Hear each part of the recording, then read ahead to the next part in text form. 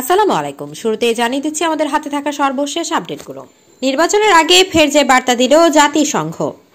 এরপর আপনাদের জানাব একটি বিশেষ প্রতিবেদন। ডাক্তার ইউনুসকে কারাদণ্ড যে বার্তা দিল যুক্তরাষ্ট্র।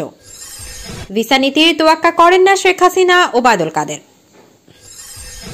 কঠোর প্রস্তুতি নিচ্ছে বিএনপি। সাত জানুয়ারির নির্বাচন সংকট কোথায়? বাংলাদেশে নির্বাচন নিয়ে যা বলল ভারত। নির্বাচনে যে পাঁচটি ঘটনা ঘটলে ভারত কিছু করতে পারবে না। স্ত্রীর প্রচার পরিচালনায় অতিরিক্ত ডিআইজি হামিদুল বরখাস্ত। সাত জানুয়ারি নির্বাচন যে কৌশল নিতে যাচ্ছে বিএনপি। সর্বশেষ আমাদের হাতে যে চাঞ্চল্যকর নিউজটি আছে। সাত জানুয়ারির পর কি ধরনের নিষেধাজ্ঞা আসতে পারে জানালেন রেজা কিপ্রিয়া এতক্ষণ শুনছিলেন সংবাদ শিরোনাম, এবার বিস্তারিত। তার আগে আমাদের চ্যানেলটি সাবস্ক্রাইব করে জানিয়ে দিন কোন জেলা বা কোথা থেকে আমাদের সংবাদ দেখছেন এবং শুনছেন। নির্বাচনের আগে ফের যে বার্তা দিল জাতিসংঘ। দ্বাদশ জাতীয় সংসদ নির্বাচনের বাকি মাত্র তিন দিন। আগামী রোববার বহুল আলোচিত সমালোচিত সংসদ নির্বাচন। বাংলাদেশের নির্বাচনের প্রক্রিয়াকে খুব ঘনিষ্ঠভাবে পর্যবেক্ষণ করছে জাতিসংঘ। বুধবার কথা জানিয়ে দিয়েছেন জাতিসংঘের মহাসচিব অ্যান্দিনিও গুতারেসের মুখপাত্র স্টিফেন ডুজারিক। মুখপাত্রের কাছে এক সাংবাদিক জানতে চেয়েছিল বাংলাদেশের জাতীয় সংসদের তিনশো আসনের জন্য আসন্ন নির্বাচন চুয়াল্লিশ রাজনৈতিক দলের মধ্যে আটাশটি অংশ নিচ্ছে। প্রতিদ্বন্দ্বিতা করেছেন এসব দলের কমপক্ষে এক হাজার নয়শো সত্তর প্রার্থী। এ পর্যন্ত বাংলাদেশে পৌঁছেছেন প্রায় চারশো বিদেশি পর্যবেক্ষক। এমন অংশগ্রহণমূলক নির্বাচন সত্ত্বেও প্রধান বিরোধী দল বিএনপি নির্বাচন বর্জনের কর্মসূচি দিয়েছে। এ বিষয়ে জাতিসংঘের কি কোনো পর্যবেক্ষণ আছে? তার এ প্রশ্নের জবাবে স্টিফেন ডুজারিক বলেন, না, নেই। আমরা শুধু ঘনিষ্ঠভাবে এই প্রক্রিয়াকে পর্যবেক্ষণ করছি। আমাদের আশা নির্বাচন হবে স্বচ্ছ, সুষ্ঠু। আমাদের কাছে এখন পর্যন্ত এই বিষয়ে এতটুকুই আছে। উল্লেখ্য, এর আগে দেওয়া ব্রিফিং এ স্টিফেন ডুজারিক বলেছিলেন, বাংলাদেশ একটি অবাধ সুষ্ঠু নির্বাচন দেখতে চায় জাতিসংঘ। তিনি আরও বলেছিলেন এ সম্পর্কে জাতিসংঘের প্রতিক্রিয়া নির্বাচনের পরে জানানো হবে। নিউ সোর্স বাংলা ইনসাইডার দ্বাদশ নির্বাচনে আওয়ামী লীগ কয়টি আসন পাবে বলে আপনার মনে হয়? আপনার মূল্যবান মতামত কমেন্ট করে জানিয়ে দিন। এদিকে আরেকটা হট নিউজ হচ্ছে ডাক্তার ইউনুসের কারাদণ্ড যে বার্তা দিল যুক্তরাষ্ট্র। নোবেল বিজয় অর্থনীতিবিদ ডাক্তার মোহাম্মদ ইউনুসের বিরুদ্ধে আদালতে দেয়া কারাদণ্ডের বিষয়ে যুক্তরাষ্ট্র গভীরভাবে পর্যবেক্ষণ করছে বলে জানিয়েছেন। যুক্তরাষ্ট্রের স্টেট ডিপার্টমেন্টের প্রধান মুখপত্র ম্যাথু মিলার বুধবার যুক্তরাষ্ট্রের স্টেট ডিপার্টমেন্টের নিয়মিত ব্রিফিংয়ে বাংলাদেশের নির্বাচন ইস্যুতে কথাও বলেন ম্যাথিউ। তিনি এই বিচারের বিষয়ে উদ্বেগ প্রকাশ করে একটি সুষ্ঠু এবং স্বচ্ছ আইনি প্রক্রিয়া নিশ্চিতে সরকারকে আহ্বান জানিয়েছেন। নোবেল বিজয়ী ডাক্তার মোহাম্মদ ইউনুসের বিরুদ্ধে মামলা ও আদালতের রায় রাজনৈতিক উদ্দেশ্য প্রণোদিত কিনা, সাংবাদিকদের এমন প্রশ্নের জবাবে ম্যাথো মিলার বলেন, বিশ্বজুড়ে দারিদ্র বিমোচনে ডক্টর মোহাম্মদ ইউনুস উল্লেখযোগ্য অবদান রেখেছেন। তার এই অবদানের স্বীকৃতি স্বরূপ তিনি শান্তিতে নোবেল পুরস্কার সহ মর্যাদাপূর্ণ অসংখ্য আন্তর্জাতিক পুরস্কারে ভূষিত হয়েছে। তার বিরুদ্ধে যে মামলায় কারাদণ্ড দেওয়া হয়েছে, সে মামলাটি আমরা গভীরভাবে পর্যবেক্ষণ করছি। তিনি আরও বলেন, এই মামলার রায় নিয়ে বিশ্বব্যাপী যে নিন্দার ঝড় উঠেছে, স্পষ্টতই সেটি আমাদের নজরে এসেছে। আমরা বাংলাদেশ কর্তৃপক্ষকে আহ্বান জানাই, তারা যেন সুষ্ঠু ও স্বচ্ছ আইন প্রক্রিয়া নিশ্চিত করে। এর বাইরে যা কিছু ঘটবে, তাতে কড়া দৃষ্টি থাকবে আমাদের। নিউজ সোর্স কালবেলা অনলাইন দেশরত্ন শেখ হাসিনাকে পুনরায় কে কে ক্ষমতা দেখতে চান? আপনার মূল্যবান মতামত কমেন্ট করে জানিয়ে দিন। এদিকে আরেকটি হট নিউজ হচ্ছে, ভিসা নীতি তোয়াক্কা করেন না শেখ হাসিনা ওবায়দুল কাদের। স্যাংশন নিষেধাজ্ঞা সবই ভুয়া উল্লেখ করে আওয়ামী লীগের সাধারণ সম্পাদক ওবায়দুল কাদের বলেছেন, শেখ হাসিনা ভিসা নীতি তোয়াক্কা করে না। তিনি একমাত্র সৃষ্টিকর্তাকে ভয় করে। বৃহস্পতিবার দুপুরে ঢাকা বিশ্ববিদ্যালয়ের বাংলাদেশ ছাত্রলীগের ছিয়াত্তরতম প্রতিষ্ঠা বার্ষিকীর উদ্বোধনী অনুষ্ঠানে তিনি এসব কথা বলেন। ওবায়দুল কাদের বলেন, বিএনপি অপেক্ষা আছে, আটলান্টিকের ওপার থেকে স্যাংশন নিষেধাজ্ঞা আসবে। এছাড়াও বোমা মেরে আতঙ্ক সৃষ্টি করতে তারেক রহমান টেমস নদীর ওপার থেকে নির্দেশ দিয়েছেন। ছাত্রলীগকে উদ্দেশ্য করে কাদের বলেন, ছাত্রলীগের সাধারণ সভায় শুধু ছাত্রলীগ থাকবে। শুধু সাধারণ ছেলেমেয়েরাও থাকবে না, সেটা অর্থহীন। ছাত্র রাজনীতিতে সাধারণ ছাত্রছাত্রীদের মাঝে আকর্ষণীয় করতে মেধা, সাহস, পড়াশোনা, চলাফেরা, পোশাক, পরিচ্ছেদ স্মার্ট হয়। উনিশশো আটচল্লিশ সাল থেকে শুরু হয়ে গতানুগতিক ভাষণ দিতে পারা মানে স্মার্ট নয়। এসব এখন আর কেউ শোনে না। News source Jugantor.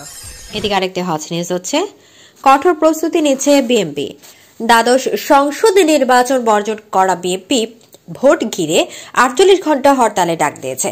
দলের জ্যেষ্ঠ যুগ্ম মহাসচিব রুহুল কবির রিজভি বৃহস্পতিবার এক ভার্চুয়াল সংবাদ ব্রিফিংয়ে এই কর্মসূচি ঘোষণা করে বলেন, ভোটের আগের দিন শনিবার সকাল ছটা থেকে ভোটের পরের দিন সোমবার সকাল ছটা পর্যন্ত আটচল্লিশ ঘণ্টার এই হরতাল পালিত হবে।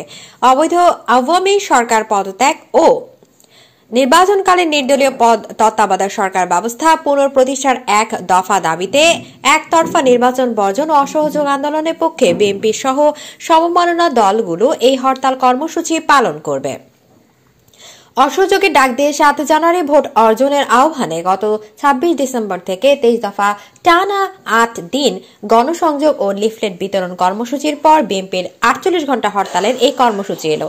দাদু জাতীয় সংসদ নির্বাচন আওয়ামী লীগ কয়টি আসন পাবে বলে আপনার মনে হয়? আপনার মূল্যবান মতামত কমেন্ট করে জানিয়ে দিন। এদিকে আরেকটা হট নিউজ হচ্ছে। সাত জানুয়ারি নির্বাচনের সংকট কোথায়? নির্বাচন যায়, নির্বাচন আসে, কিন্তু নির্বাচন নিয়ে কথা শেষ হয় না। নির্বাচনে অংশ নেয়া নেয়া, নির্বাচন বর্জন করা, এসব তো আছে নির্বাচনের পর এর গ্রহণযোগ্যতা নিয়ে কথার পিঠে কথা চলতেই থাকে। অংশগ্রহণমূলক নির্বাচন হলেও নির্বাচনী মাঠে প্রতিশ্রুতি, সংঘাত, সংঘর্ষ, সাধারণ ঘটনায় পরিণত হয়েছে আমাদের দেশে। দুই হাজার চব্বিশ সালের সাত জানুয়ারি দেশে যে জাতীয় সংসদ নির্বাচন হতে যাচ্ছে তা প্রকারান্তরে একদলীয়, একতরফা নির্বাচন। নির্বাচনী আমেজ নেই ফলাফল মানুষ জানে। তারপরও সংঘাত সংঘর্ষ থেমে নেই, চলছে দখলদারিত্বের লড়াই। সরকারের ইচ্ছার প্রতিফলন এই নির্বাচনে মানুষ দেখাতে পারে।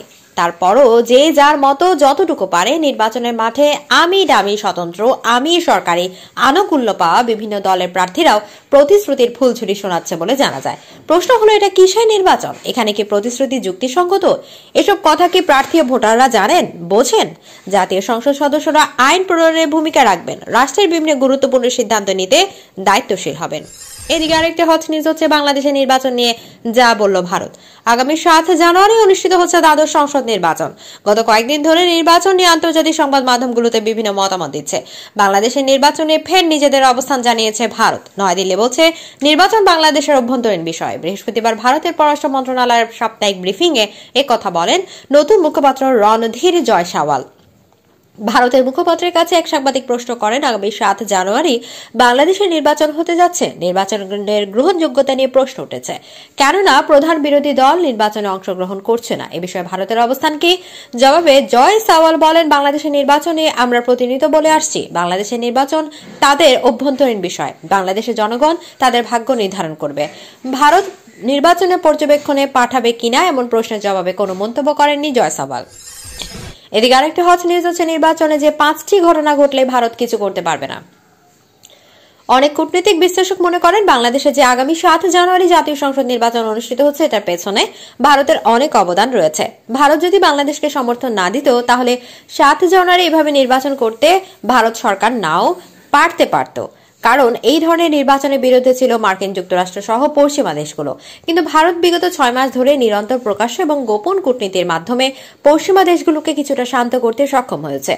যে পাঁচটি ঘটনা ঘটলে ভারতের কিছু করার থাকবে না, তার মধ্যে রয়েছে এক, নির্বাচনে যদি অনাকাঙ্ক্ষিত কারচুপির ঘটনা ঘটে। দুই, ভোটার উপস্থিতি কম। তিন, সহিংসতা বা গোলযোগ। চার, নির্বাচনে। চার, নির্বাচনের ফলাফল। পাঁচ অনিবৃপ্রেত কিছু ঘটনা। এদিকে আরেকটা হট নিউজ হচ্ছে, স্ত্রীর প্রচার চালনায় অতিরিক্ত ডিআইজি হামিদুল বরখাস্ত। সরকারি গাড়ি ব্যবহার করে স্ত্রীর নির্বাচনী প্রচারে অংশ নেওয়ার অভিযোগে বরিশাল মহানগর পুলিশের অতিরিক্ত কমিশনার হামিদুল আলমকে চাকরি থেকে সাময়িক বরখাস্ত করা হয়েছে। একই সঙ্গে তাকে পুলিশ অধিদপ্তরে সংযুক্ত করার বিষয়ে অনাপত্তি দিয়েছেন সাধারণ নির্বাচন কমিশন। বুধবার নির্বাচন কমিশনের উপ সচিব মিজানুর রহমান স্বাক্ষরিত চিঠিতে স্বরাষ্ট্র মন্ত্রণালয়ের সিনিয়র সচিবকে এই বিষয়ে জানানো হয়। বৃহস্পতিবার ইসি সূত্রে তথ্য জানা গেছে। ইসি জানায়, সরকারি গাড়ি ব্যবহার করে শ্রী নির্বাচনে প্রচারে অংশ নেওয়ার অভিযোগে বরিশাল মহানগর পুলিশের অতিরিক্ত কমিশনার হামিদুল আলমকে তলব করেছে নির্বাচনী অনুসন্ধান কমিটি। হামিদুল আলমের স্ত্রী শাহজাদি আলম ওরফে লিপি বগুড়া এক আসনে স্বতন্ত্র প্রার্থী হিসেবে প্রতিদ্বন্দ্বিতা করছেন। এদিকে আরেকটি হট নিউজ হচ্ছে, সাত জানুয়ারি নির্বাচন যে কৌশল নিতে যাচ্ছে বিএনপি শান্তিপূর্ণ আন্দোলনের মধ্য দিয়ে সফলতা দেখতে চায় বিএনপি কঠোর, কোনো কর্মসূচি না দেওয়ার পক্ষে দলটির নীতির নির্ধারকরা। ভোট বর্জনকেই বেশি গুরুত্ব দিতে চান তারা। এ লক্ষ্যে নেতাকর্মী, সমর্থক ও তাদের আত্মীয় স্বজন এবং সাধারণ মানুষকে ভোটের দিন কেন্দ্রে যাওয়া থেকে বিরত রাখার সব কৌশলই কাজে লাগাতে চাইছে দলটি। গণসংযোগ ও লিফলেট বিতরণের শেষ দিন আজ ফের নতুন কর্মসূচি ঘোষণার কথা রয়েছে। শনিবার ওই ভোটের দিন রোববার সারা দেশে হরতাল দেওয়ার নীতিগত সিদ্ধান্ত আছে। এই কর্মসূচি শান্তিপূর্ণভাবে পালনের পাশাপাশি কোনো ফাঁদে পা না দিতে কেন্দ্র সহ তৃণমূলে বার্তা দেওয়া হয়েছে। কোনো ধরনের নাশকতা বা অগ্নিসংযোগের ঘটনা সামনে পড়লে সঙ্গে সঙ্গে তা কেন্দ্র করে, ভিডিও করে কেন্দ্রে পাঠাতে বলা হয়েছে। এদিকে আরেকটি হট নিউজ হচ্ছে, সাত জানুয়ারির পর কি ধরনের নিষেধাজ্ঞা আসতে পারে জানালেন রেজা কিবরিয়া। সাত জানুয়ারির পর কি হবে? এমন প্রশ্নের জবাবে ডক্টর রেজা কিবরিয়া বলেন সাত জানুয়ারির পর কি হবে সেটা আল্লাহ তালা ছাড়া নিশ্চিতভাবে কেউ বলতে পারবে না। অনেক কিছুই হতে পারে, পরিস্থিতি পাল্টেও যেতে পারে। সাত তারিখের পর কি ঘটবে সেটা আমাদের একটা ধারণা আছে। আমাদের মনে হয় দেশ খুব কঠোর স্যাংশনে পড়বে। এই স্যাংশন নিয়ে আমি খুবই দুশ্চিন্তা আছি। কারণ দেশে একটি দীর্ঘমেয়াদী ক্ষতি হবে, যেটা আমি চাচ্ছি না, কিন্তু সেটা হয়ে যাবে। কিছু করার নেই, কারণ সরকার দেশের জন্য এমন পরিস্থিতি তৈরি করেছে যে আমরা সবাই বিপদে পড়ব। তিনি বলেন, আমি মনে করি জিএসপি তুলে দিতে পারে, যার কারণে আমাদের গার্মেন্টস খাতে সমস্যা হবে। শান্তিরক্ষী মিশনের সেনাবাহিনীর অংশগ্রহণের